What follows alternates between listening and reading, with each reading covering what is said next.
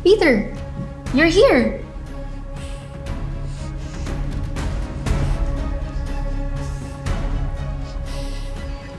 Why do you look so stressed?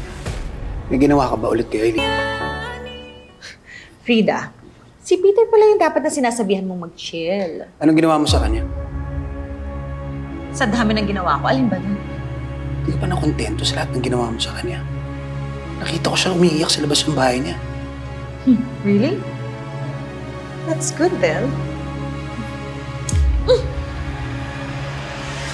Ah! What the hell?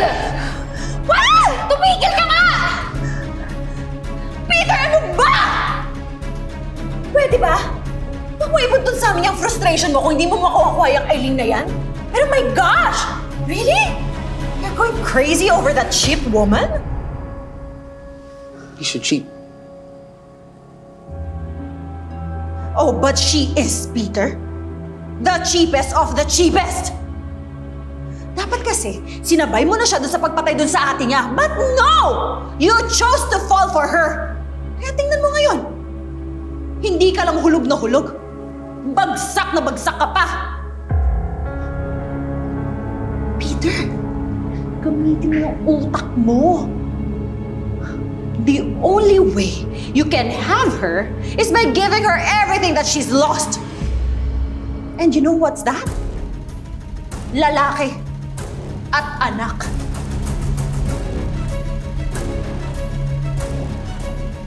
Ang ibig mo sabihin? Force her, Peter. And if you must, rape her.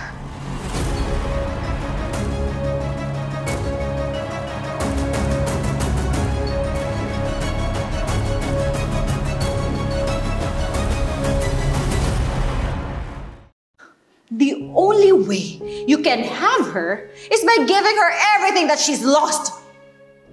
And you know what's that? Lalaki at anak. Force her, Peter. And if you must, rape her. Peter, anong ginagawa mo dito?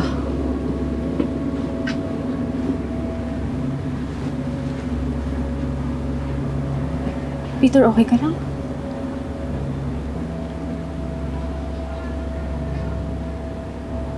Anong problema sa akin, Eileen? Um, Peter, may lakad kasi ako ngayon eh. May event ako, baka malita ako. Next time na lang tayo mag-usap. Hindi mo ako iniiwasan. Tinataboy mo. ako. Peter, please. Ba't di mo ko kayang mahalin all these years, Eileen?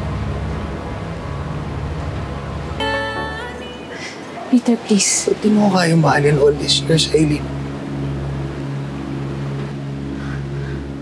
Nagpapasalamat naman ako sa lahat-lahat ng ginawa mo para sa akin.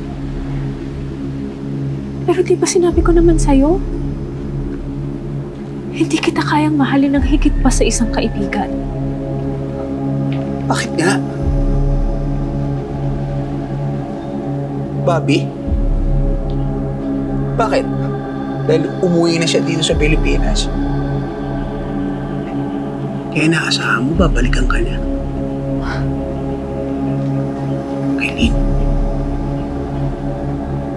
Ako yung nandito ngayon sa'yo. Ako yung lagi nandito sa harapan mo. Hanggang ngayon, ako yung nandito para sa'yo. Kaya ako yung nararapat para sa'yo.